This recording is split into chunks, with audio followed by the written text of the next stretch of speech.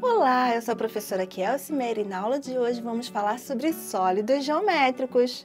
Você sabe o que são sólidos geométricos e o que eles têm a ver com essas embalagens?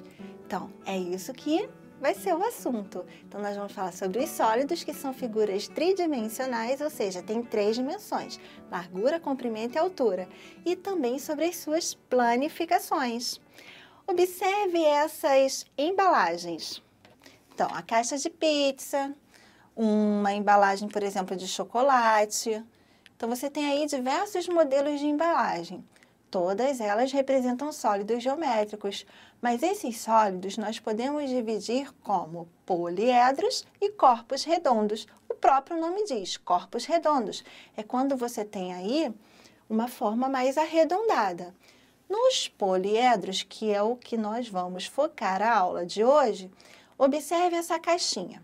Ela tem o quê? Vários triângulos. Já parou para pensar como é essa caixinha, por exemplo?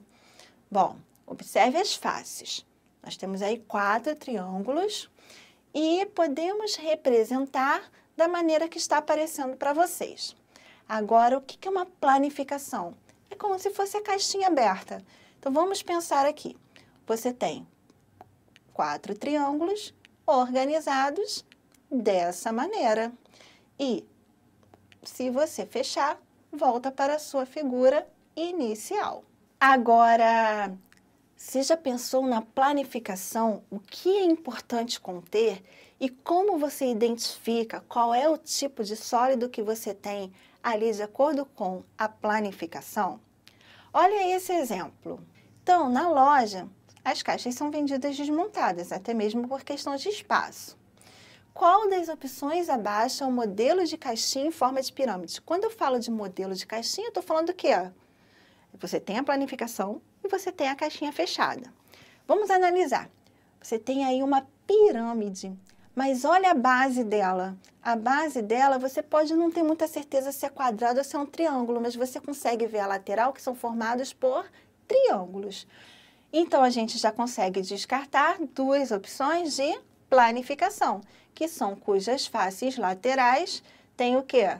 Tem quadrilátero, porque já sabemos que a face lateral tem um triângulo. Restou apenas aquela opção ali. Essa caixinha, embora a gente não esteja conseguindo ver a parte de baixo, tudo sugere que é o quê? Que é um quadrado, pois você tem quatro faces triangulares ao redor. Então, a planificação é que nós estamos marcando. Então, nós temos essa planificação. Agora, vamos fazer, por exemplo, numa folha de papel. Colocamos amarela aí para poder ficar bem destacado. Nós sabemos que a base é um quadrilátero, né? E esse quadrilátero é uma figura plana, porque ele tem apenas comprimento e largura. Ele não tem uma altura, ele fica todos os pontos exatamente onde? Contidos nessa folha aí que podemos dizer que é o plano que a gente está trabalhando. Agora, no caso do poliedro, a gente vai ter a altura formada pelas faces triangulares. Nesse caso, nós também temos o que? O poliedro pode ser chamado de pirâmide.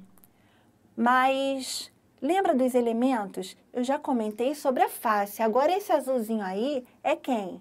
Ele é a aresta. A aresta é o ponto de encontro, é a retinha do encontro das faces. Também temos, nesse caso, esse verdinho que é a bolinha, o vértice. O vértice é o ponto de encontro das arestas.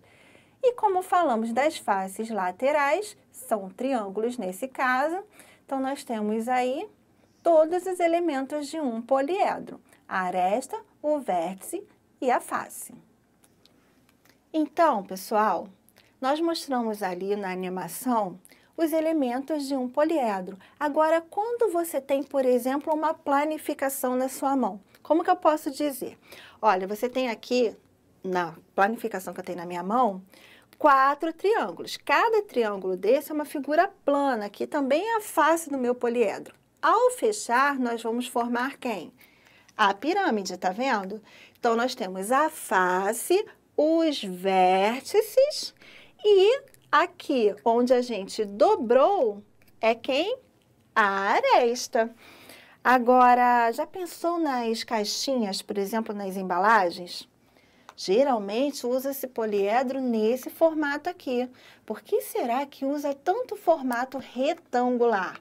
Porque é mais fácil para manusear, tanto quanto está fechada, quanto quando está o quê? Aberta. Nesse caso, olha, nós temos várias caixinhas que estão fechadas, mas você já parou para pensar como é a planificação de uma caixinha dessa?